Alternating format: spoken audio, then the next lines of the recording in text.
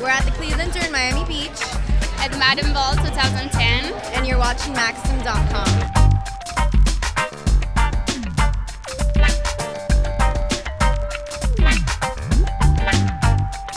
Are you a big gamer? Do you like Madden? Yeah.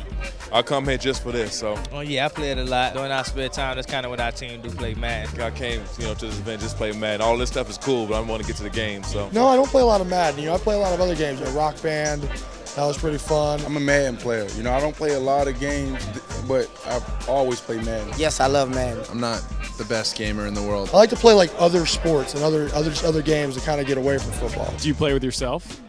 Of course. Do you play with yourself? A little bit. Oh, yeah, yeah. Do you play with yourself?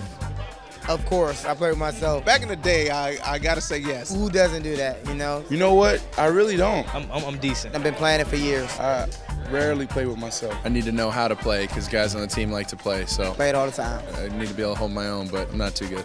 That came out weird. Yeah. In the game? Yeah, of course, of course.